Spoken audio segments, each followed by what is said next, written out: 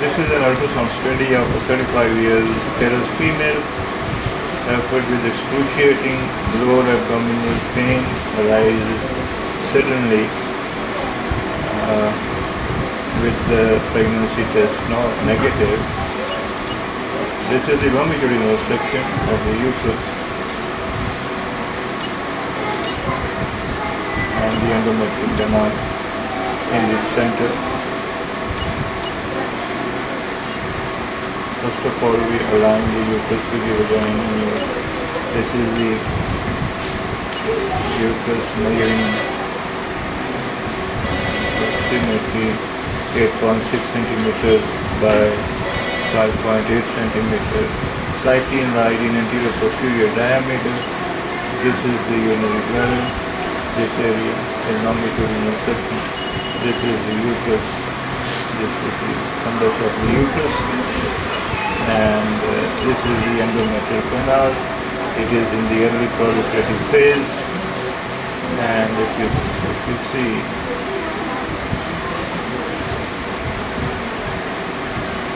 magnifying, I see a fibroid in the anterior wall, lower segment. This is the fibroid, this area. It measures approximately 222 by 24 millimeters. And in transverse section, you can see the fibroid again alongside the uh, central clear endometrial canal.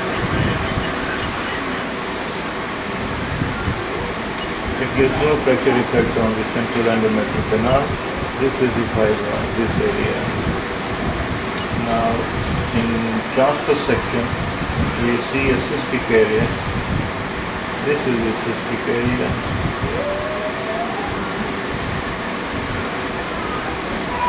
we, this is the debris, this is the cyst. The cyst measures 3.9 into 4.7 centimeters and uh, we see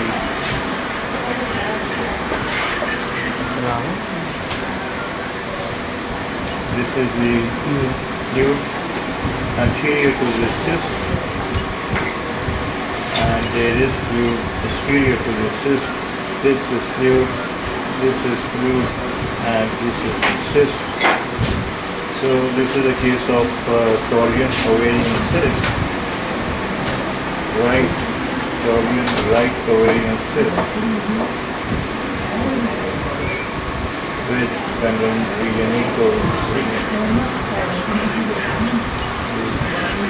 Fine equals settle down septum, thin, thin incomplete septum, mute, mute, uterus, endometrial canal, transverse section.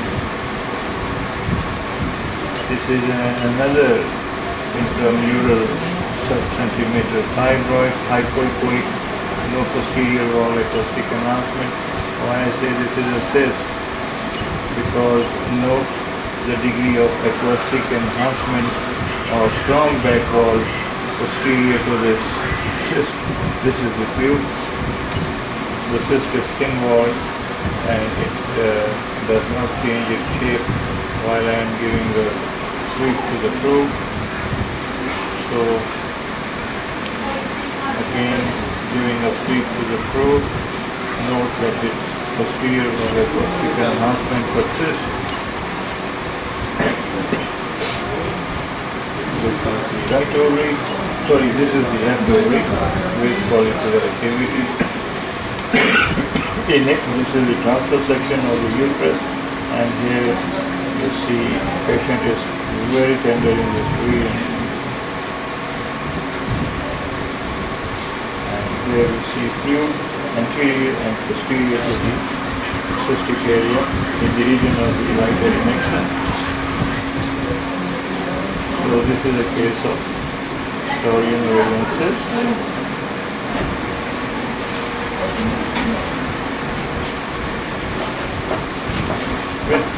Fluid anterior and posterior.